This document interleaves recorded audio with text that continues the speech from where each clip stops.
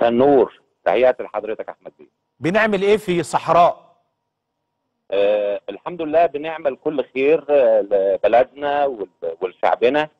ويمكن حضرتك كنت تتكلم على آه التنمية البيئية المتكاملة للظهير الصحراوي للساحل الشمالي الغربي. ومحافظة مطروح.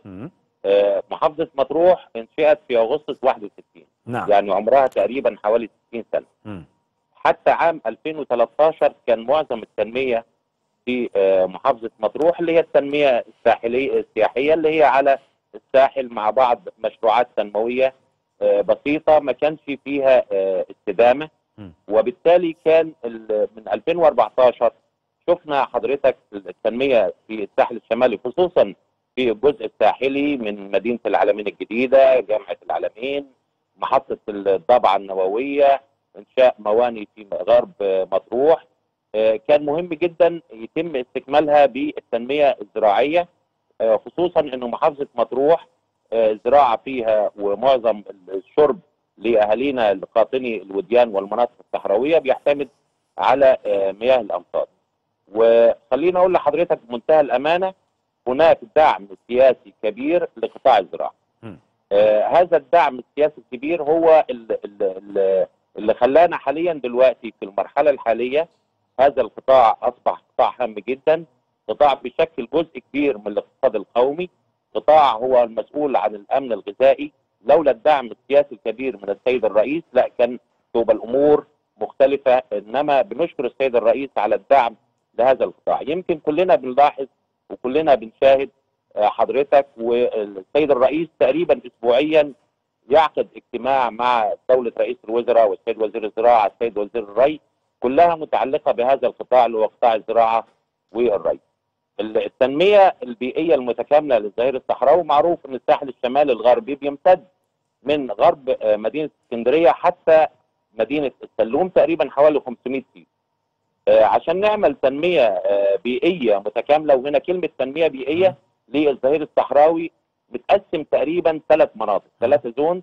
المنطقة الأولى من ساحل البحر لعمق 5 كيلو جنوب الطريق الدولي. دي كلها منطقة اللي فيها التنمية السياحية وبعض المشروعات وأيضا فيها زراعات للتين والزيتون. دي بتستقبل معدلات مطر حوالي 140 مللي. يعني 140 مللي يعني حوالي 14 سنتي عشان السادة المشاهدين وأهالينا يعني حوالي 14 سنتي في السنة.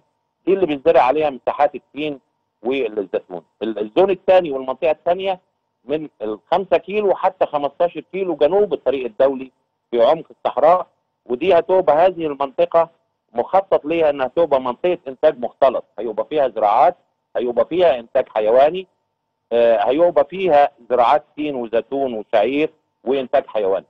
بعد ال 15 كيلو جنوب الطريق الدولي هتبقى منطقة مراعي كلها للإنتاج ال- الحيواني. ال- توجيه السيد الرئيس آه، للحكومة وإنه في تمويل من الصندوق الدولي آه، للتنمية الزراعية الإفاد.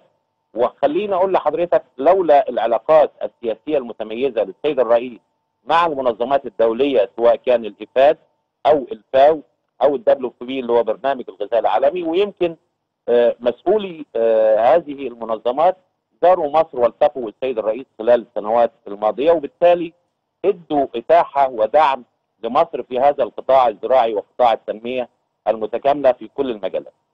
منطقة مرسى مطروح عشان السادة المشاهدين إحنا تقريبا بنزرع سنويا حوالي نص مليون فدان شعير مزروعه على الأمطار. خليني أقول لحضرتك إحنا أشقائنا العرب اللي معانا في شمال أفريقيا سواء كان في ليبيا أو في تونس أو الجزائر نعم وإحنا ما في دولة في العالم بتزرع وبتنتج على 50 ملي مطر و100 ملي مطر في العالم إلا مصر مم. وهنا الرسالة المهمة جدا إن إحنا احتياجاتنا المائية وإن إحنا من الدول الأكثر آه، جفافا على مستوى العالم م. ورغم كده إحنا بتقنياتنا الحديثة بخبرائنا بأهالينا بالتقنيات الحديثة اللي بنستخدمها في الزراعة م. حتى ال 50 ملي اللي هي 5 سم بتنزل مطر سنويا إحنا بنستغلها وبنعمل عليها زراعات وبنقيم عليها مجتمعات ودي بتحتاج تمويل وبتحتاج تكلفة عالية جدا. الساحل الشمالي زي ما قلت لحضرتك فيه نص مليون فدان بيتم زراعتها بالشعير. حوالي 50 ألف فدان مزروعة تين وزيتون في منطقة الساحل الشمالي مصر ثاني أكبر دولة على مستوى العالم في إنتاج التين بفضل هذه المنطقة. لأن 80% من إنتاجنا من التين في مصر بيطلع من منطقة الساحل الشمالي ال- الغربي. كمان الميزة النسبية اللي عندنا إن الثروة الحيوانية اللي موجودة عندنا في منطقه الساحل الشمالي هي من الأغنام الجيدة ذات المواصفات الجيدة بالنسبة للحم والنوع البرقي عندنا تقريبا حوالي 300 ألف آه، راس نتمنى آه، زيادتها.